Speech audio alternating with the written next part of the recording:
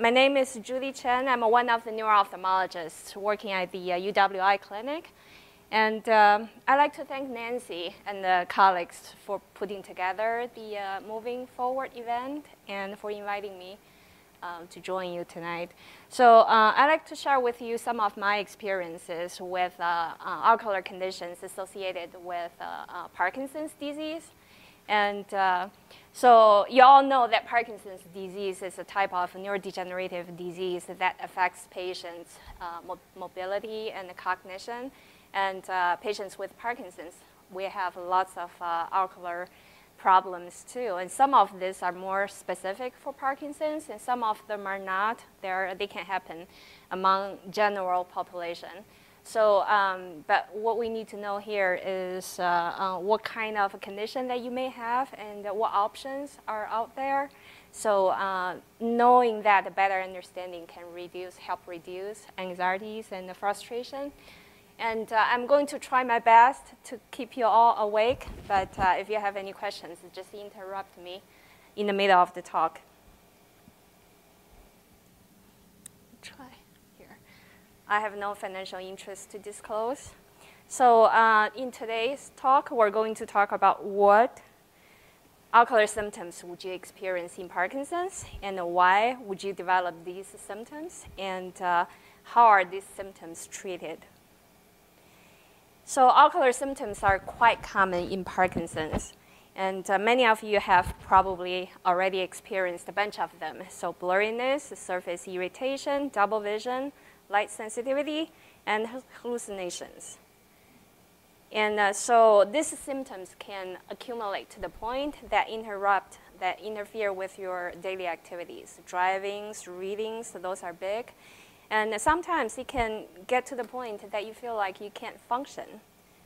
And, uh, but things can get even worse because when you go to see your eye doctor because you can't see well, they may tell you, well, you have a normal eye examination. Looks like uh, you don't have much of uh, things in the eye that we can see. So a number of changes can happen uh, along with uh, the progression of Parkinson's. And uh, they can happen in both in the eye and in the brain, or the connection between the eye and the brain. So, um, so together they can impact, they can cause really cause problem in your vision, your ability to see. So uh, these includes decreased contrast sensitivity, decreased color discrimination, uh, retinal dopamine deficiency that goes along with a general overall reduction of dopamine production, and, uh, and also visual spatial deficit, which is a problem that has something to do with the brain and eye connection. So we're going to talk a little more about contrast sensitivity because that's important for your ability to drive.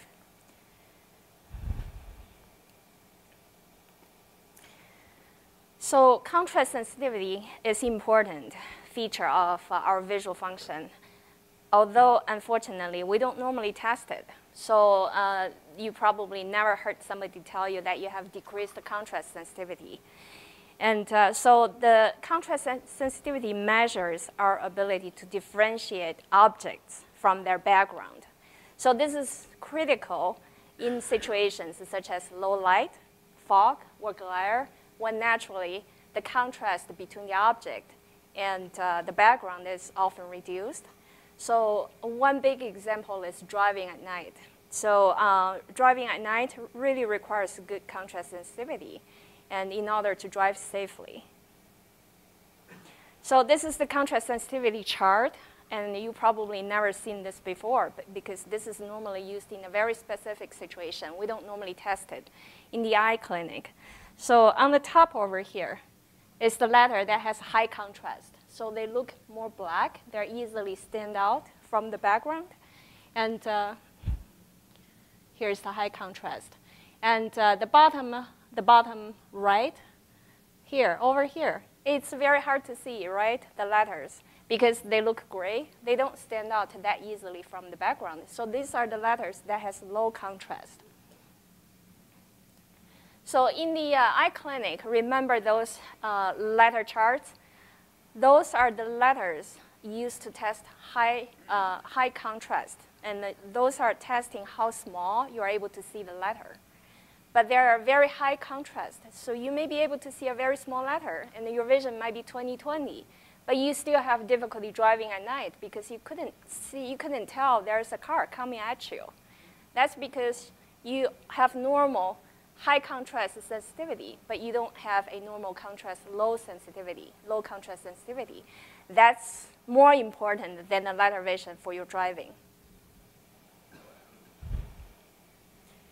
So uh, impaired ocular motility is also very common in uh, Parkinson's patients. And this goes along with uh, our generally de decreased motility in our body. So now among various of ocular motility uh, function, the saccade. Saccade is one of the more important specific uh, aspect of the ocular motility for Parkinson's. For saccade, it's a type of rapid eye movement that allows uh, our allows us to shift, do a quick shift from objects to the, to the other. So uh, we need to do this rapidly and precisely. But Parkinson's patients, we normally have a slower and imprecise saccade. So the problem will be it's hard for you to scan in the environment, scanning objects from here to there. And when you read, you find it hard to scan words on the book.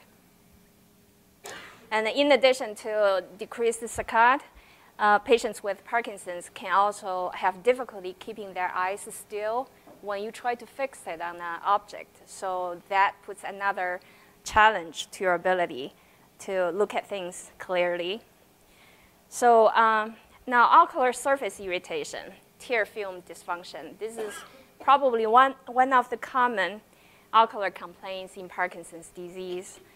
And uh, so now here's the picture. This is a very common type of picture that we see in clinics. And uh, you can tell that the eyes are very angry. It looks red and uh, it looks crusty. So uh, here are the, the eye symptoms you may experience when you have a, a suboptimal tear film production. So light sensitivity, tearing, crusting at the eyelash, eye stuck in the morning, and uh, dry eye, burning, gritty, or sandy sensation red eye, and sometimes you, you can have eye pain too. And uh, so remember that many Parkinson's medication, when you have severe dry eye, you need to look at your medication list because a bunch of them can reduce the tear production.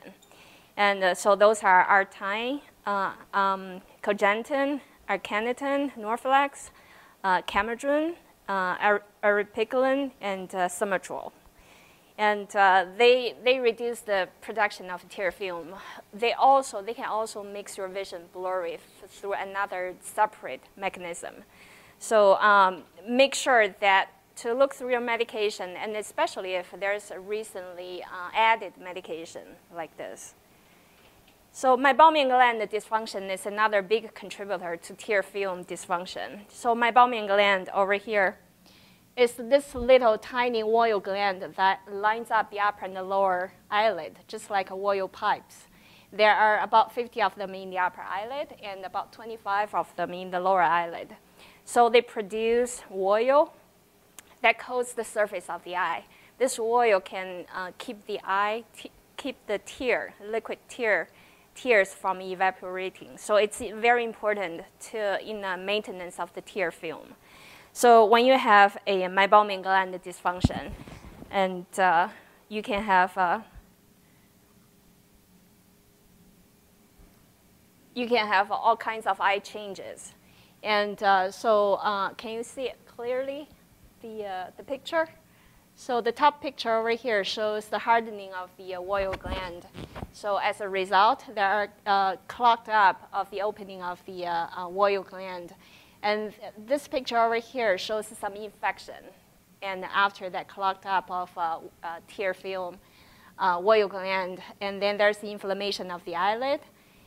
And uh, so in chronic uh, stage of inflammation, the eye, there, you may have skin changes, you may have crusty stuff. And uh, when chronic inflammation gets pretty severe, you have uh, some scarring of the, the eyelid, and then the eyelash, they fall off, and uh, they can also grow inward. So that can irritate your eye surface even more. So treating uh, meibomian gland dysfunction or tear film dysfunction doesn't require fancy technologies. You can do it. It's affordable. It's a home therapy. All it takes is your hard work on your part. So basically, this is what we call home hygiene, lid hygiene treatment. And many of you are probably uh, familiar with uh, this therapy. So it consists of a warm compression, five minutes, followed by a lid scrub for uh, a few minutes. After that, put in the artificial tears. If you don't do the first and second step, just putting the artificial tears, it's not going to work. It's just waste, waste your money. And uh, so warm compression, you use a heating pad or uh, just a warm uh, washcloth. Just put it over your eyelid for five minutes. That can help soften the uh, oil duct. And after that, you use a wash towel to just soak with a baby shampoo. And then close your eyes and scrub the, uh, the, the margin of the eyelid. Get rid of the, uh, um, the, that little um, hardening at the opening. And then that will open up the, uh, the uh, oil duct, and then so the oil can come out freely. So after that, you do artificial tears. And many patients, they just do this twice a day and put it incorporate into their daily bathroom routines and they like it. Once you enjoy the results, you're not gonna forget doing it. All right, any questions so far? Can you all hear me? Okay, good. Nancy.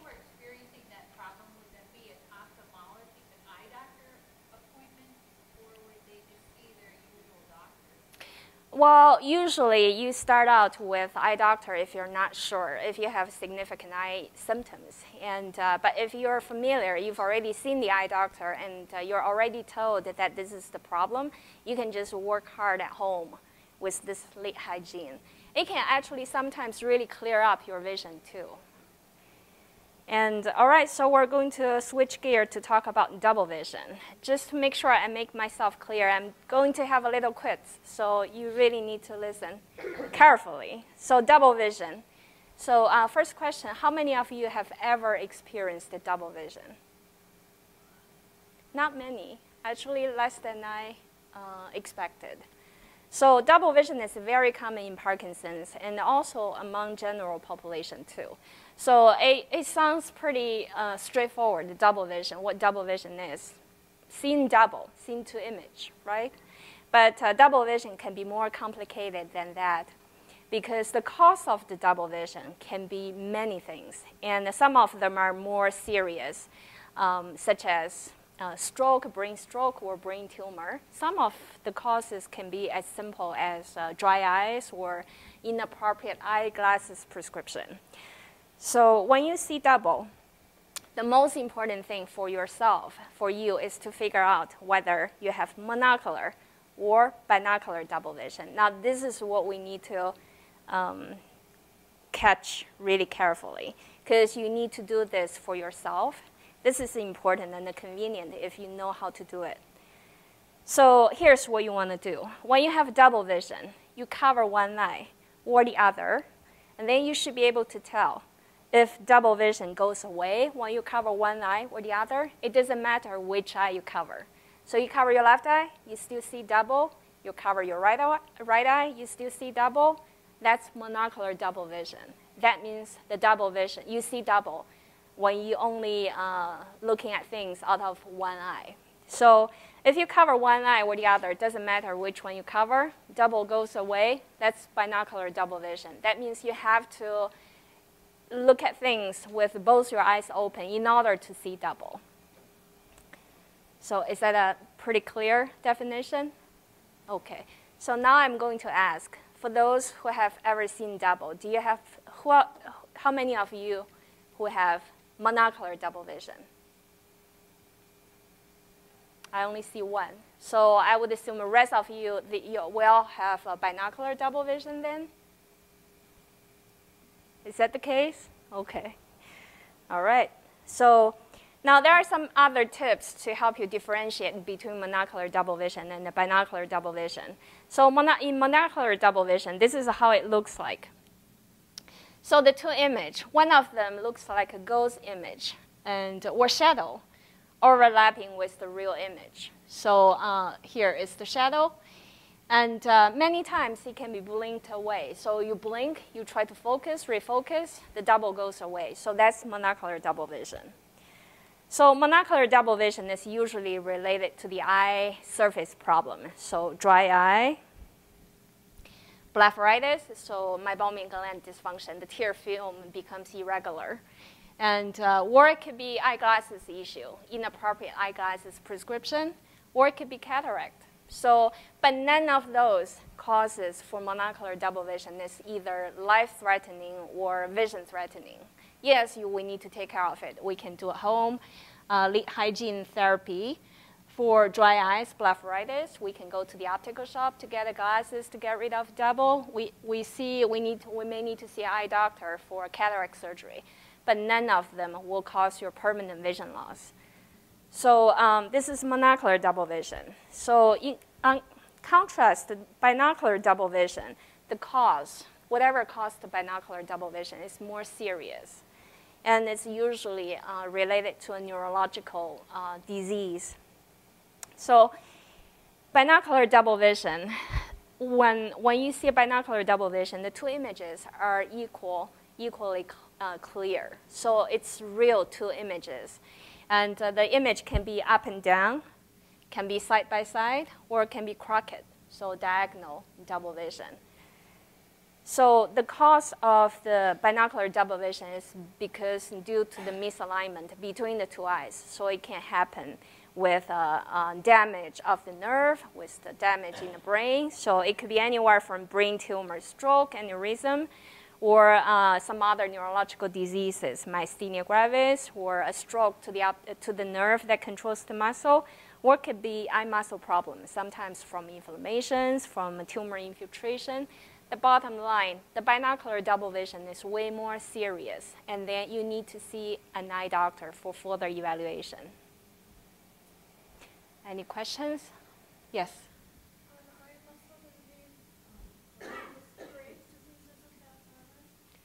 Yes, so uh, grave disease is. So uh, your question is, is grave disease causing the binocular double vision? The answer is yes. So we all know, so do we all know what grave Graves disease is? Right, it is, uh, Graves disease is a type of thyroiditis, so inflammation of the thyroid. And uh, in a small proportion of patients with thyroiditis, inflammation of the thyroid, somehow this inflammation also attacks the eye. So that's Graves' eye disease. So when people have Graves' eye disease, the, uh, there are a huge amount of inflammation of the eyelid, of the soft tissue behind the eyeball, of the eye muscles itself. That's why uh, people may have double vision. But uh, when, when you have a Graves' eye disease, you can have all kinds of ocular problems, not only the double vision. And does that answer your question? Yeah. So bottom line, again, when you have binocular double vision, go see eye doctor because you need to be further evaluated. So uh, among various causes of uh, binocular double vision, convergence insufficiency is one of them. It's very common. It's very common for both Parkinson's disease patients and for general population. So we're going to just talk about convergence insufficiency um, a little more because it's important for your reading, and which is what many Parkinson's patients find difficult, difficult with. So convergence insufficiency is defined as dissociation between the two images when you look at near two images are always side by side, it's always at near. So um, it's more prominent when you read, that's how you find it. And when you drive, when you watch TV, no problem at all. So uh, in, in, addition to double vision, patients may have eye strain symptoms, usually brought up by prolonged near task. And uh, so you may have eye strain, eye pain, discomfort, and sometimes headache. And, but in convergence insufficiency, you shouldn't have any other neurological deficits. So no other stroke-like symptoms. If you do, that's not convergence insufficiency. So here's what convergence entails. So Now, convergence is the process of the eyes. Eyes are turning in when we look up close. So um, here is Carol. Carol is standing at distance. When we look at Carol, when you look at Carol, the two eyes are slightly apart. Now, Lee, she's standing right in front of you. So when we look at Lee, our eyes goes in towards each other. That's convergence. And so in patients with a convergence insufficiency, our eyes are not coming in sufficiently when you look up close. That's why there's a separation of the two image. So that's what causes the double vision at near. So the uh, convergence insufficiency, you need to see an eye doctor. And uh, there are a couple of things that we need to pay attention to. So with convergence insufficiency, a lot of times uh, you will hear that your doctor says, we, we better to, to get rid of those fancy bifocals and uh, progressives, and then just use the single vision lens that can help with your gaining your convergence power and we'll talk about that. And the exercise, many patients ask me whether they can exercise of their eye muscles. The answer is no, unfortunately. The exercise wouldn't work at this age. And the prism is the treatment for convergence insufficiency. So here, uh, is, the prism is an optical device that helps to uh, bring your, the two images together, basically an optical illusion. And uh, so there are two types of prism glasses. Now this one is what we call Fresnel prism. This is just looking like this. You may not be able to see it because of the background. It's a plastic film with lines on it. We stick it onto the uh, eyeglasses over here. And uh, so this is a temporary one, and you can take it off, put it back on, and it's low cost. We, we always do the temporary, glass, uh, the temporary one first. And uh, sometimes people go to optical shop and then they put the permanent one immediately. That's a lot of times that wouldn't work. You just waste your money. And because things might change over time, and then once you put in the permanent one, and then and there's no way you can change it. So um, here's the ground-in prism. This is the permanent prism. And uh, so this one there's no films because the film is already built into your eyeglasses. So a lot of times you couldn't see anything if you just look at the glasses. If you look at the side, do you see there's a uh, um, plane over there? Looks like a triangle. That's how the prism glasses look like. And this is more exaggerated. This is a huge amount of prism put in. Normally, it's just looking like this, just like a regular eyeglasses. But usually, we, we allow at least three to six months and we give you the temporary, the prism for you to try and until you feel for sure, yeah, this is the number I need. I like this number before we actually give you prescription for the permanent, uh, permanent prism because the cost is higher.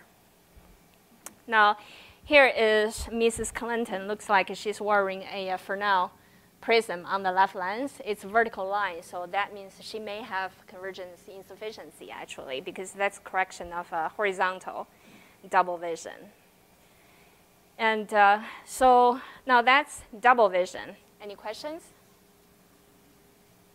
All right, we're doing well. And uh, everybody is awake, at least looks like. And uh, so abnormal eyelid movements is pretty common too in Parkinson's. So there are different forms. There's reduced spontaneous blink. And uh, uh, if the blink is reduced, then that can damage the uh, tear film integrity. And the blepharospasm is a type of uncontrolled spasm of the eyelid, so you just can't open your eyes. And apraxia of lid opening, so it's difficulty initiating eye opening. Your eyes are stick together, it takes some time and effort for you to open your eyes. And uh, so blepharospasm is a type of involuntary closure, eyelid closure. And uh, just look like this. This gentleman over here, he's, he's frowning, not because it's painful, because blepharospasm is not supposed to be painful. It's painless. And, uh, but it's very uncomfortable.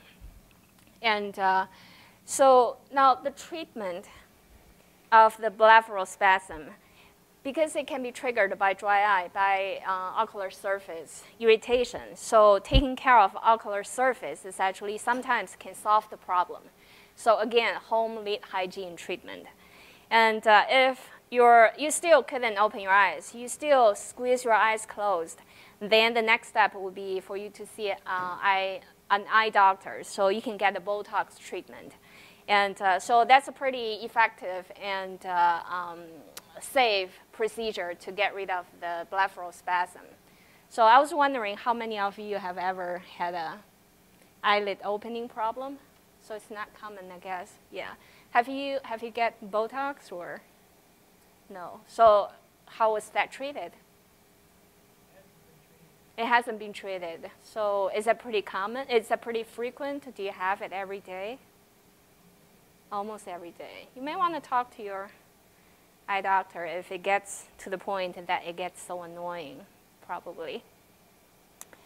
Um, so now I wanted to mention just the eyeglasses issue. It sounds like it's just a minor issue, and it's not as fancy as a surgery or implants, but uh, it's very annoying if this is not the right, uh, you're not doing it right. So the, now, long story short, Parkinson's patients should avoid bifocals and progressive glasses because you have impaired eye movement and because you, you may have convergence insufficiency, at least weak convergence. So uh, now here, now normally we have uh, one pair of glasses and uh, the whole lens only gives us a focus on one plane. So whether it's distance or whether it's reading glasses, that's the best setting for Parkinson's patients. Now, uh, the bifocals is built by putting the distance and the near lens into one piece of, one piece of glasses. So you don't have to switch between the two pairs of glasses. So uh, now progressive glasses, the fancy type of eyeglasses, is even more tricky because the progressive glasses, they are supposed to put all different kinds of uh, plane of focus all together into one piece of glasses.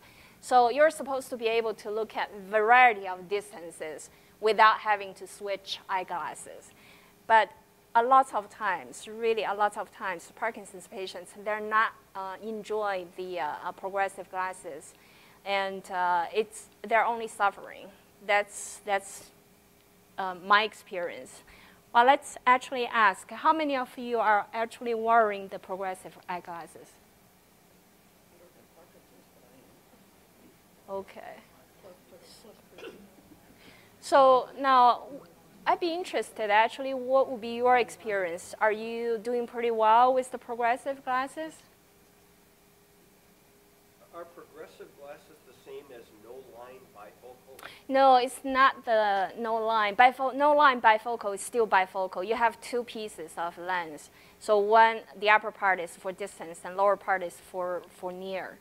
The progressives, they have uh, many lines of, they, they have increasing, they have a gradient of increasing power. So you can look at near up close. You can look at computer, 10 yards away, 20 yards away, and uh, up to infinity. You don't have to switch eyeglasses.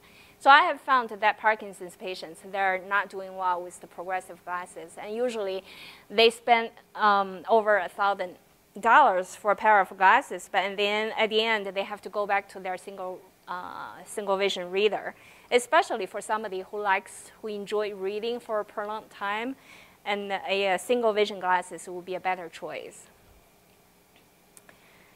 Now, here are some tips for reading. So basically, if you're reading for a long time, single vision glasses will be the best choice for you. It can reduce, it can give you the minimum amount of eye strain.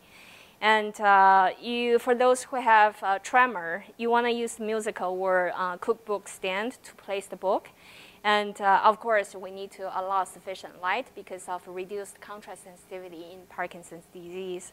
And then you, some of the patients, you, all, you also find difficulty just keeping your eyes in the line because of your eye movement problem. So in that case, you use your finger or, or a ruler to draw eyes across the page in order to keep up, the, to find the, uh, the, the line.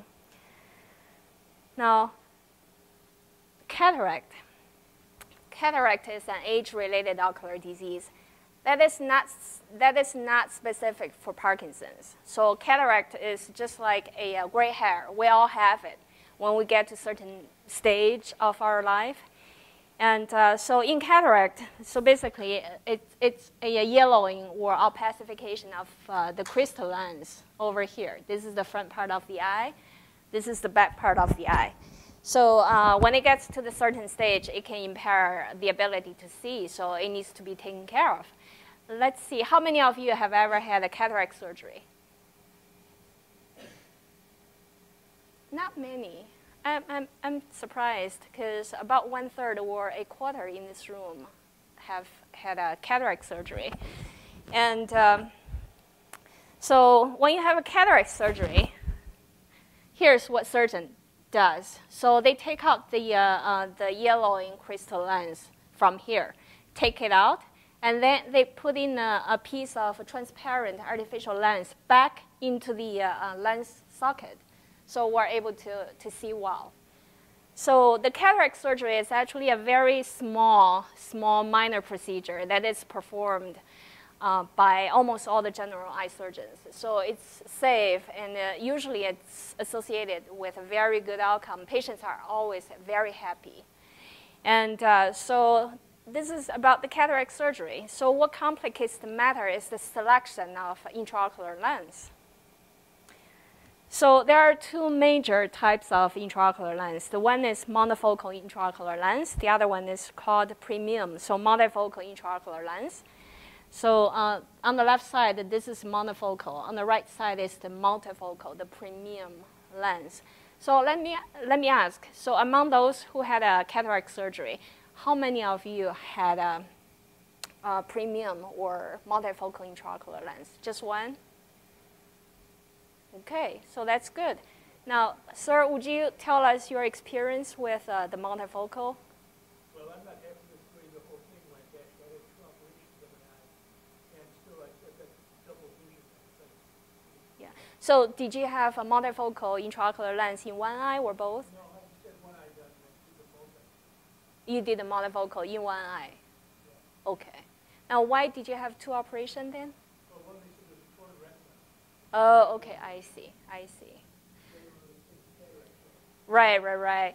So I have new, I have had numerous patients, not only Parkinson's patients, but uh, also the other uh, patients, and then they just came over here. They're really miserable from uh, multifocal intraocular lens. Not mentioning that multifocal, the premium lens actually um, needs you to pay out of pocket almost three thousand dollars a piece because is not covered by insurance company. And uh, so here's how the two lens works. It's not the, uh, the fault of uh, the uh, multifocal intraocular, uh, intraocular lens itself. It is who is the best candidate for the uh, fancy lens. And so for monofocal intraocular lens, it's just one piece. Just think about this as eyeglasses. So monofocal intraocular lens is like single, single vision eyeglasses. Just one piece of glasses only give you focus for one plane. So usually it's adjusted for your distance vision. Now, uh, after the surgery, you may able to see distance pretty clearly, but you still need to uh, wear reading glasses for near. So that's multifocal intraocular lens. Now, uh, that's monofocal intraocular lens. So multifocal intraocular lens, are you able to see, are we able to see there are multiple concentric circles on the lens. Can we turn off the light? Because I really want to make, make sure that everybody gets this part.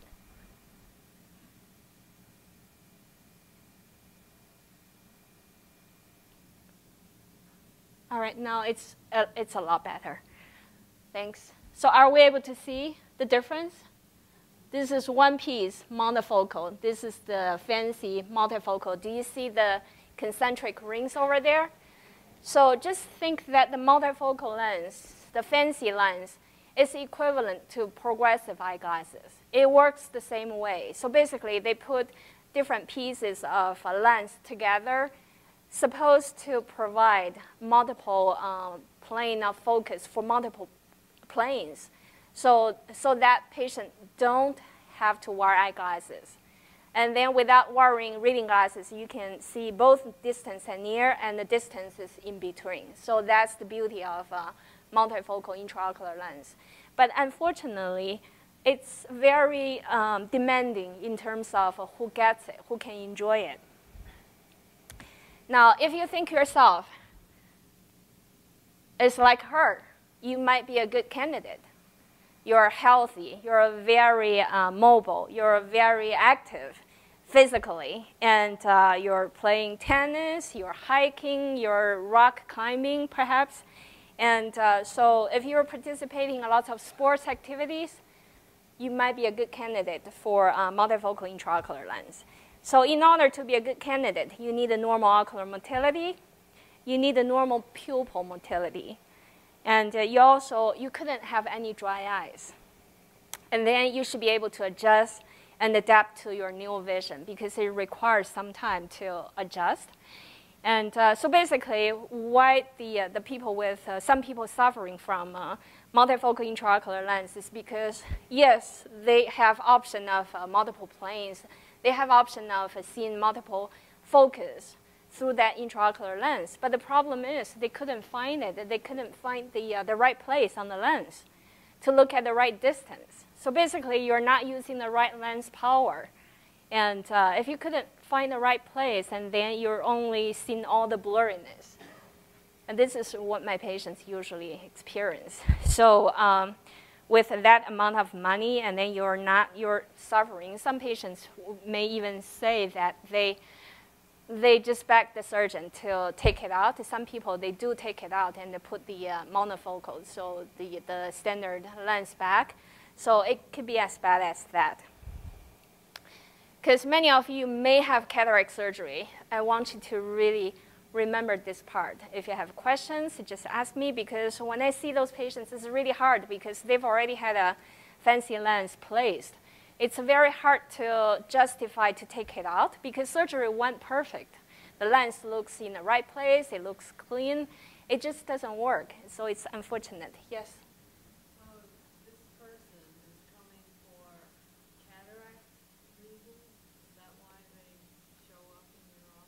No, so many times, because I'm not a surgeon, they show up in my office is because they can't function after cataract surgery. So their surgeon sent them over and uh, just to trying to figure out why, because the surgery looks, it, it went pretty well because if we look into the, the, uh, the machine, the lens looks perfect, it's clean, there's no signs of inflammations or any trauma in the eye the procedure went well, but the problem is the, uh, the patients couldn't enjoy the lens. They couldn't utilize the lens. That's why the, uh, the patient comes to us. Yes? So are patients advised on which type of lens to Yeah, so that's a good question. The question is, are if the patients are advised by the surgeon which type of lens? Yes, the surgeons are always do. There are variabilities so individual difference among surgeons. Some of the surgeons they're more careful. Some of the surgeons, because of course they want the multifocal lens, it's fancy, and if it works, it's beautiful. And it's also high, um, high, high cost. And uh, so, yeah, it's hard to say. But yes, generally the surgeon is going to advise you which kind of intraocular lens. But all these patients are advised beforehand. So there's really not a best way to tell which patient is going to suffer and which is going to benefit. So those who are benefit, they're really happy about their lens because they can really go back to their normal life. Of course, Medicare helps you decide. Yeah, many people, they like, they, they said, because the, the story is very appealing and uh, you go back to your normal life and some people, they like to do different things, for example. And uh, so there really is. Um, I'd say I don't think it's, it's, it's anybody's mistake. It's just the experience and the experience with the general population and the experience with the Parkinson's um, population in, in uh, particular. So, um, but just to make sure that uh, as a uh, neuro-ophthalmologist, we always advise patients especially patients with, because I have lots of patients with brain tumor, MS, brain trauma. So those are the patients, they may share many of the features, ocular features that you have. So ocular motility, dry eyes, and uh, double vision, and all sorts of things. So I always advise them, it wouldn't be a good idea. You might have a problem with uh, uh, the fancy lens because of your other vision problems. So just to be really careful, you are going to make your decision for, your, for yourself, you gotta be careful. Now, lastly, I, I like to talk about a little about sleep in Parkinson's because this is a, a very important area for Parkinson's patients, and this is also the, uh, my, my research interest. So let me ask you, how many of you say you have perfect sleep? You're completely happy with your sleep? None. How many of you have ever, you would say, well, I, I'm not happy with my sleep. I wish I can improve my sleep? So how about the rest? Sucks. Okay. Yeah, so sleep disruption is very common in the general population, general elderly, and uh, it's more prevalent in uh, patients with Parkinson's. And you may ask, so how's that sleep have anything to do with, with our eyes? We, we don't accept our, we close our eyes when we sleep. So it's actually very relevant. Now, have you uh, all, are you all aware that this year's Nobel Prize for medicine goes in uh, circadian scientist? Three circadian scientists, American. So this is just relevant to that. So circadian rhythm is a type of uh, physical activities. It's a collection of uh, physical activities, vital physical, physical activities that is supposed to synchronize the majority of our physiologic and biologic activities to the external light-dark cycle. So such as sleep is one of them. The others are hormonal secretion, body temperature. So we all know without uh, industrial light in the old ages, we know when to go to sleep, we know when to wake up, and uh, our, our activities are perfectly aligned with uh, the external light, right? That's what circadian system does. So circadian system is connected between the eye and brain. So the connection between the eye and the brain makes up the circadian system. So here's, now when we talk about the eye, we always think about vision. So the, the ability to, to look at the external objects and then transmit it to the back, back part of the brain, that's the vision center. So this is taking care of the perception of the objects. This is vision. So circadian rhythm is the non-visual aspect of the eye, which is equally important but far less appreciated uh, functionality of the eye. So among all these small brain areas, all of these are connected to the eye. This is the important uh, biological clock. So this is in the hypothalamus. This is the sleep regulation center. So basically, the external light is transmitted through a specific path in the eye to the brain sleep center, so regulate our sleep. That's why when we have age-related ocular disease, we lose our sleep. So have you heard, heard about that? Blinded people, they lose sleep. They sleep during the daytime. They don't sleep through, uh, throughout night. That's because we lose that, in the, uh, we lose that connection between the eye and the brain. So here's what I do. So study how the eyes works with the brain to impact the sleep and the cognition eventually. So uh, the two main questions is the eye's role in sleep and the cognition. And eventually, ultimately, our goal is to develop potential intervention using light therapy to promote sleep in Parkinson's in, and in elderly in general. So stay tuned. I think we're going to, hopefully, to develop to that stage in a few years. All right, here's take-home points. So number one, in patients, among patients with uh, Parkinson's disease, Aggressive home lid hygiene therapy can help alleviate dry eye and blepharitis. Number two, avoid bifocal and progressive glasses. Using stay with a single vision glasses and for distance and near task. And uh, number three, avoid multifocal or be very careful about multifocal intraocular lens. upon the time of cataract surgery. And number four, now Parkinson's disease patients, even if you have normal eye examination, you have vision of 20/20, you can have you can still have significant uh, functional impairment, such as driving at night, and uh, so yes, so it can be explained, and uh, even though you have normal normal eye exam, uh, normal eye examination. All right, thank you very much for your attention.